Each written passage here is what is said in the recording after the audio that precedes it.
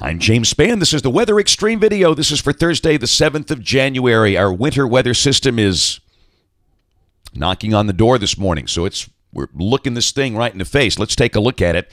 We'll start with the Skycam images over in uh, Mississippi, a couple of them. This is Greenwood over in the Delta, and they've had a wintry mix over there this morning of sleet, snow, and light freezing rain. And as you can see, looking in downtown Greenwood, uh, there's no snow accumulation there. Now, Tupelo, Mississippi, that's in the northeastern part of the state, it's dry. They have not had anything, to my knowledge, reaching the ground yet. And the same thing for a Hamilton, although within the last couple of moments, I've had a report of light snow down in Fayette County from uh, one of our sky watchers in Fayette. He has light snow and uh, uh, 30 degrees, nothing especially heavy and nothing on the ground. But that's the area we'll watch this morning. There's the water vapor satellite shot. The upper low is uh, north of us and slowly dropping south. And there's a look at the numbers this morning. These are at 4 o'clock and everybody below freezing. Cold spot, Montgomery at 22. Uh, of course, the clouds are uh, keeping temperatures steady around here. Birmingham at 31, Tuscaloosa 28. And uh, this morning, we'll have two forces working. First off, the daytime heating process. The numbers should come up slowly, but on the other hand, we will have evaporative cooling uh, that will kind of offset that. So those numbers will not change much today. And there's the radar. This is the Columbus, Mississippi radar at the insane hour of 448. And a lot of that you see over Alabama is not reaching the ground. Again, we had some report of light snow in Fayette, but uh, a lot of that not down at the surface yet. What you see over Mississippi is and again, we're going to keep an eye on that. Uh, the the it just still seems to us like the m- best combination of moisture and cold air deep enough for snow will be over the central part of our state. Look at the uh, watch warning map, and you can see winter weather advisories cover a large chunk of the east. In Alabama, the Weather Service last night pulled that southward to include Marengo, Dallas, Lowndes, Montgomery, Macon, and Russell counties. Uh, and uh, probably not a bad call. Weather Service in Jackson still maintains a winter storm warning for the US 82 corridor, which is the northern fringe of their county warning area. Uh, and let's uh, go right to the modeling here. This is the NAM, and this is at 6 o'clock this evening. And uh, the one thing that might be a little different is uh, the timing here looks like it's going to be a little later than we had kind of thrown out, perhaps late morning through afternoon and early evening. But uh, again, you can see the deeper moisture is down south. Very limited moisture up north, and that's the reason all along we've talked about the better chance of getting one or two inches over the central part of the state, with not much for the north.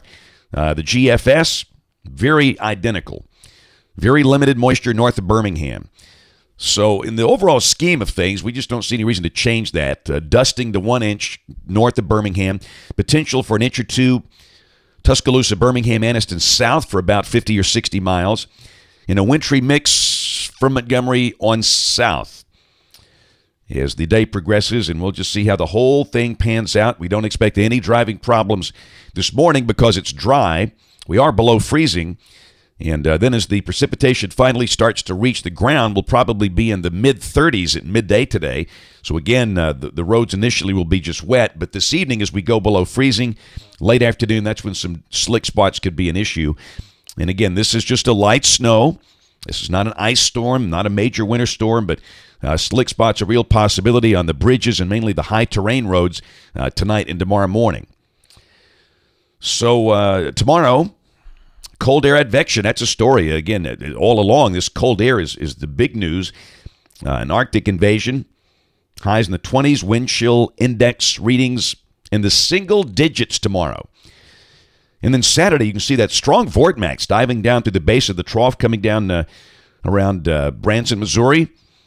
And uh, down below that, that could squeeze out a few snow flurries or showers on Saturday. It won't, won't amount to much, but it will simply make it colder.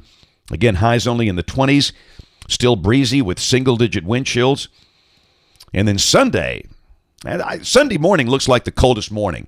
Uh, you know, uh, that's when the winds will be lighter, the cold air will be deeper. If there is snow cover, uh, single digits, if snow, snow, snow cover around 10 degrees. Uh, but the bottom line is uh, very, very uh, cold, dangerous type cold over the weekend, pipe bursting type cold. And then Monday of next week, we start to moderate, highs uh, getting back in the low 40s. Tuesday, hey, we'll be pushing 50. Won't that be nice? Don't know if we'll make 50 or not. Uh, modifying this Arctic air is kind of hard to do.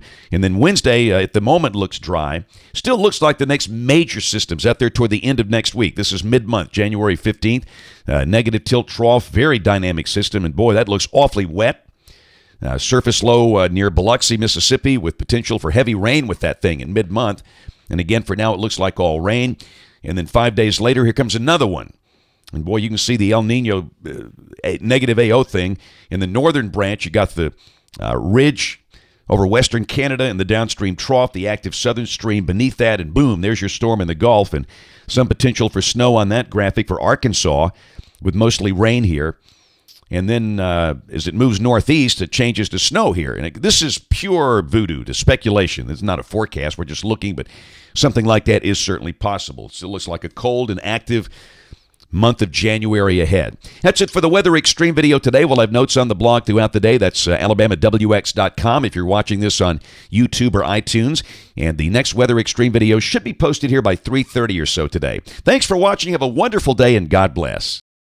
Each day there are new stories to tell about the people who live here and the place we call home. All of the faces that I see, all of the places close to me, they're all part of all the best things about home. Sharing your stories on ABC 3340, Alabama's news leader.